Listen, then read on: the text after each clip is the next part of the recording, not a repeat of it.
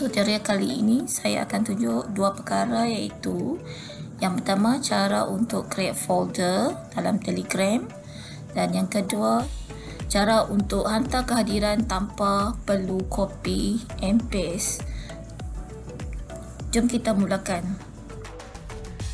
Jangan lupa subscribe, komen, like dan share di channel Cikgu Daimah. Terima kasih. Mula-mula klik tiga garisan di atas. Kemudian klik setting. Kemudian klik folder. Kemudian create new folder. Kemudian kita boleh tulis tajuk folder kita contoh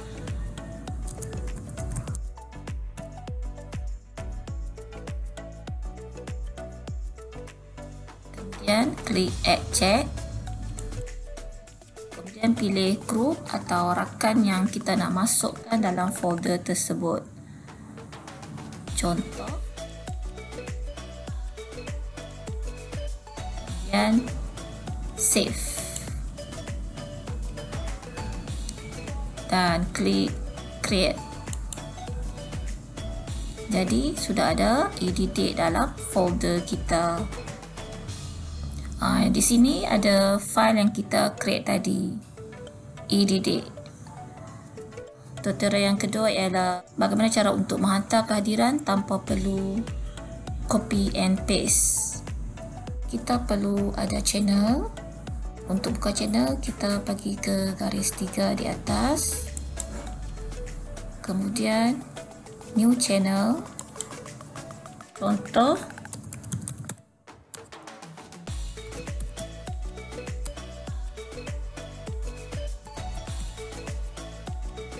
create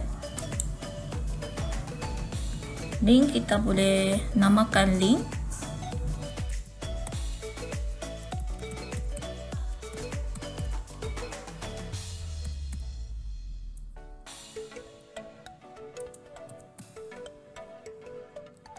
Pastikan this link is available. Kalau tak available kita kena tukar nama dan pastikan berada di public channel. Kemudian save kemudian add members.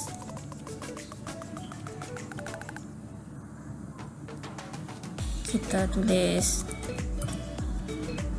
discuss bot discuss bot kemudian klik.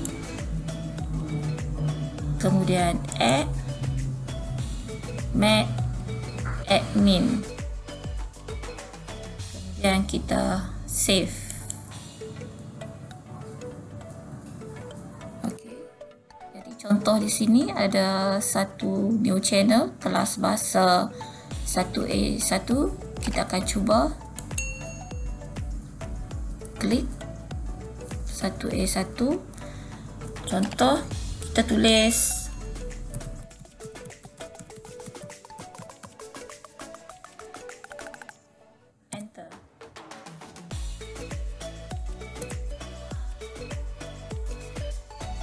bila ada paparan add, add a comment maksudnya berjaya lah buka channel ni dengan cara bagi nama tanpa copy and paste. Saya akan cuba buka.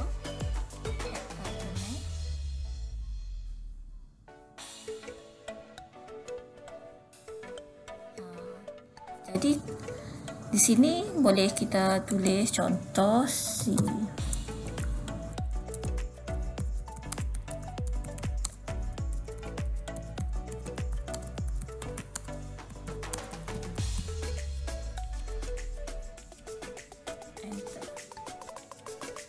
Jadi akan keluar paparan yang macam ni.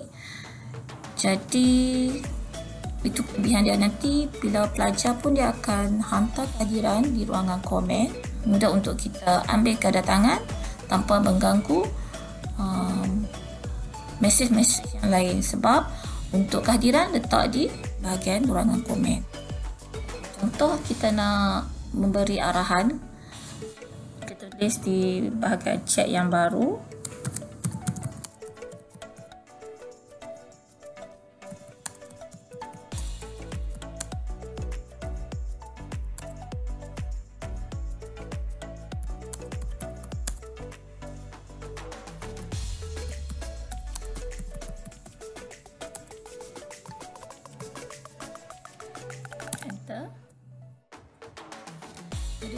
segala persoalan berkenaan dengan kerja, dia akan respon dalam add a comment. Jadi tidak akan bertindak dengan uh, kehadiran. Jadi segala persoalan berkenaan dengan tugasan hari ini, murid akan tulis pada ruangan komen di sini dan sekiranya sudah siap cikgu boleh tulis.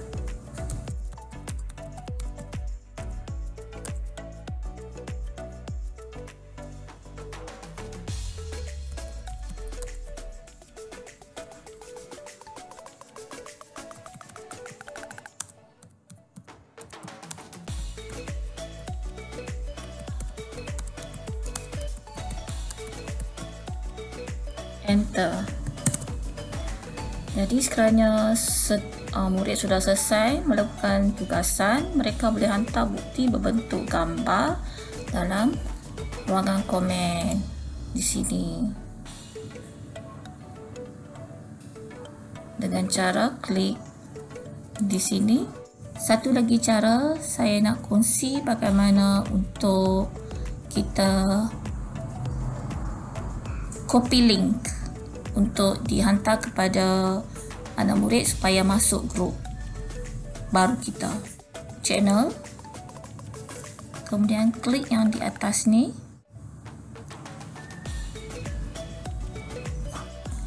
Kemudian right click. Copy link. Satu cara lagi saya nak kongsi dengan cikgu adalah cara supaya message akan berada di atas dengan cara pertama kita klik message yang kita nak pinkan right click. Kemudian pin to top klik. Ha, di sini saya tidak boleh pin to top sebab saya dah ada 5 chat to the top sekian saja tutorial kita pada hari ini. Berjumpa lagi kita di video-video yang akan datang.